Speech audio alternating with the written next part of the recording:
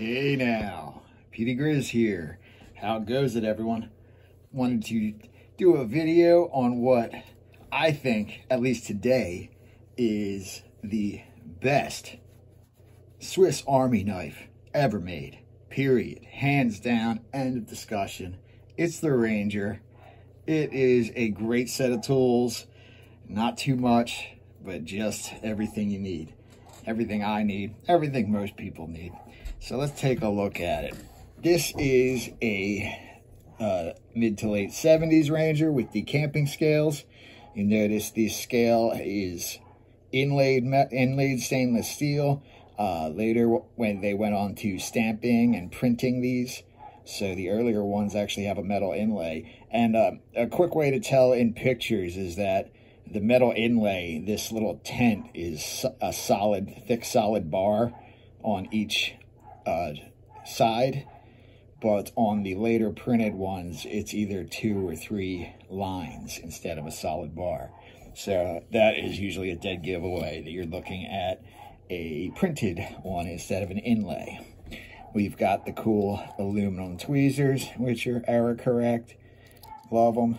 Love the little pop shininess you get from that. Got the toothpick. Gotta have a toothpick.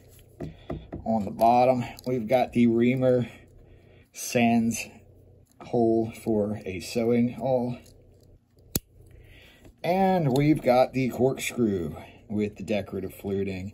Yes, I know in the that there are instances where doing this to a threaded uh, fastener will increase the surface area and give it better holding properties, but this is just done for decoration. Uh, nobody has problems with their uh, corkscrew ripping out of corks. If anything, the problem is that either the cork breaks or once in a while you bend a corkscrew. Then elsewhere on the back, we have this, what they now call their fine screwdriver or technician screwdriver, which is interesting when you compare it to the later one, which looks like this. So it's got a finer tip. It's got the hump for the nail nick rather than just being on out. This is actually almost the size of the chisel, like on this handyman. But anyway, let's keep it moving. Um, so we've got the opening layer. The big bad bottle opener. The inside of this one, they were not sharpening the inside for cable stripping at this point. Wire stripping notch. No half stop because that started around 1985 or so. This side, we've got the can opener with the combination small flathead Phillips driver on the tip. Uh, they do drive Phillips screws rather well. I usually prefer this over the backside Phillips. Know, um, the backside Phillips is nice if you got something that's really torqued down, but the whole point of Phillips screws is to not have things over torqued, so it's kind of a redundancy. The next layer is the lovely, lovely Victorinox scissors. You know, I use uh, a, a pair, maybe not this pair, but a pair of Victorinox scissors at least once a day. Uh, my medicine comes in these little foil envelopes that are very like awkward to open. Like you have to fold them and then rip them, and it's much easier just to use these scissors. So, fantastic, something I use on a daily basis. This saw, and this is the uh, machine saw. Uh, prior to the mid 60s, they had a polished surface, but later they went to a brushed surface finish on the surface.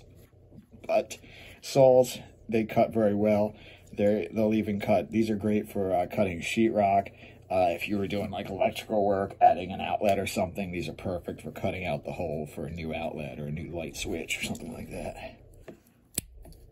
Then we have the old, uh, the old style file which is a is case hardened file rather than being made of the stainless steel like the newer files. Uh, you know, there some people prefer one. I, I happen to prefer this one. It's a little more smoother in operation. It works better as a nail file. The later one's too coarse for me. It just tears my nails up. Don't like it, but I'll live with it. Then we've got a, oh wow, a pen blade.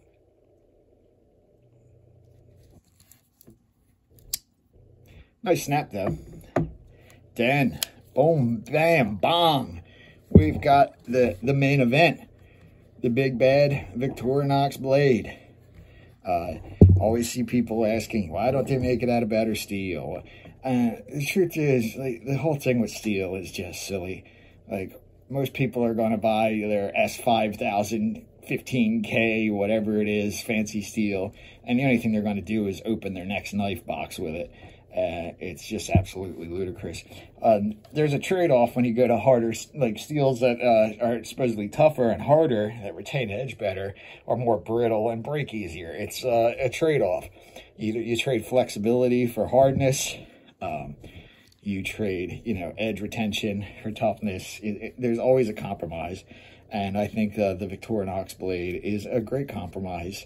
Uh, it's perfect for, you know, everyday use. It's very easy to resharpen.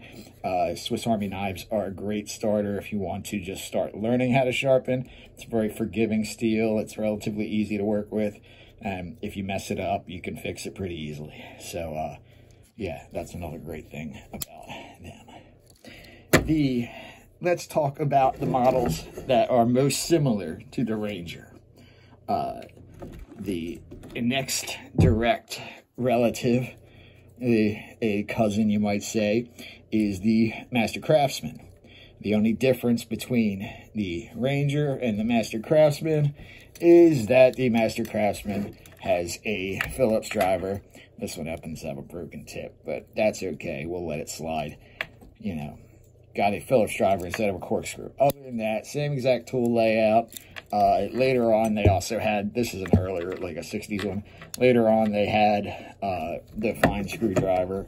So literally the same exact tool set, just switching the corkscrew for a Phillips driver.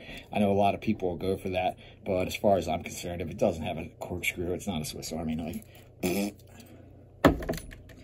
Next, we've got not that one. That's a little ridiculous. Here's this one. My sweet Huntsman with uh, micarta scales from DLT Trading.